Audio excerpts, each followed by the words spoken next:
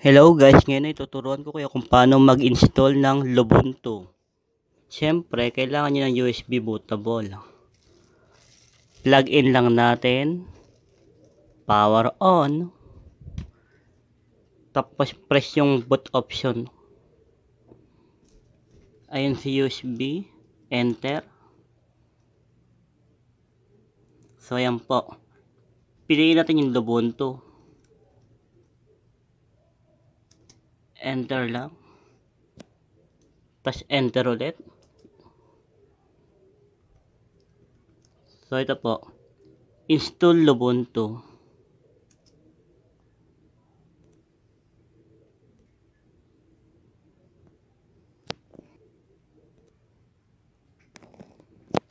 so okay.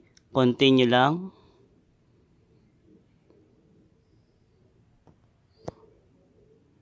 continue. So, dahil wala akong internet, continue ulit.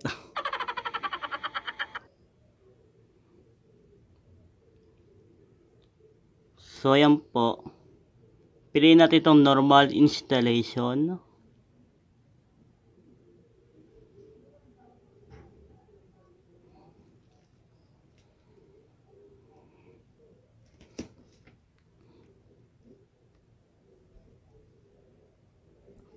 Tapos itong erase. Pwede rin kung gusto niyo kasama yung Windows 10 ninyo. Pero pipiliin ko erase.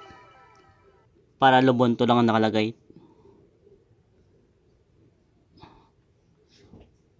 So ayan po, install now. Tapos continue ulit. Region kung saan kayo nakatira. Pangalan, siyempre.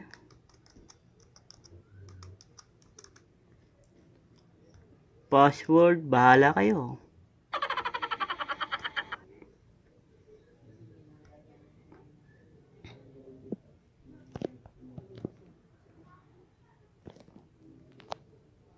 At wait lang natin matapos.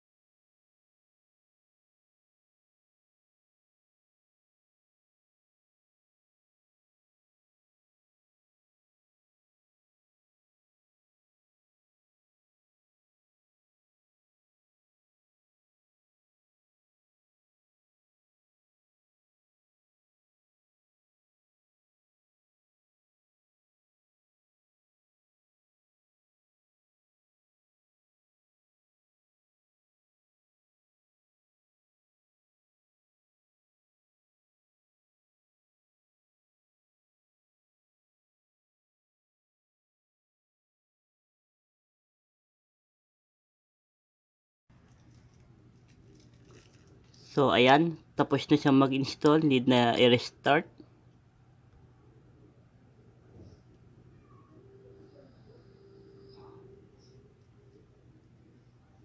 So, pagka-restart, alisin yung USB.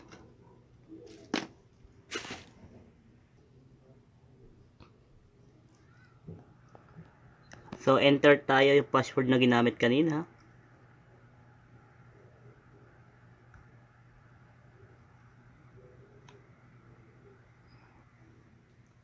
So, ayan na po.